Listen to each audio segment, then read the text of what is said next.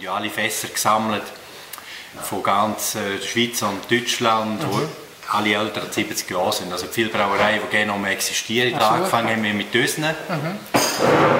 Die Whiskyfässer eigentlich wollen die Geschichte extrahieren von fünf Generationen eben, oder? Weil ein Whisky, also Bierfass geht nicht kaputt, wir dürfen nur Tuben auswechseln. Also. Und die Fasstuben wird immer zusammengesetzt zum Fass und wenn mhm. eine kaputt geht, tut man die ersetzen. Und dann ist das Fass neu geeicht worden und hat man es weiter gebraucht. Mhm.